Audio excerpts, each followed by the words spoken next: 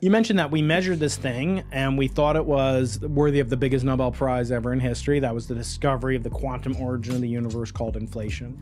But in reality, we found schmutz, these microscopic meteorite particles Right. that you get if you go to my website, briankeating.com. You got one. You got yours there. This is for your Still producer, super it. producer Joey. I got one for Still him too after the there. episode. Um, so we were actually measuring these microscopic meteorites that form this twisting pattern that led us to the confirmation bias assumption that we had detected the spark that had ignited the Big Bang. Okay, we actually measured that exquisitely precisely.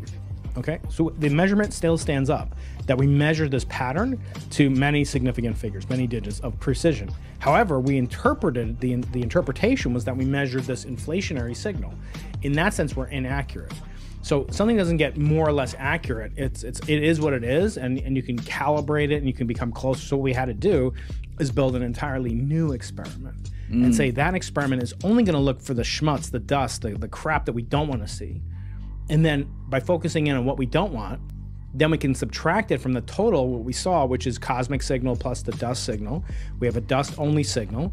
So you subtract the dust only signal from the cosmology plus dust signal, and what you're left with would be the cosmic signal. When we did that subtraction, we came up with nothing. Okay. So that means that the original thing we reported as being only cosmological was actually mostly, or if not all, dust.